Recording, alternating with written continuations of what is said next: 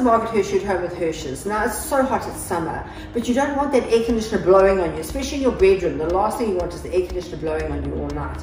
Well, we have got this amazing range of wind-free air conditioners. This air conditioner has 21,000 tiny little holes that the air is filtered through, so you'll never feel that harsh cold air coming down on you. It's just filtered out. It just cools the whole room.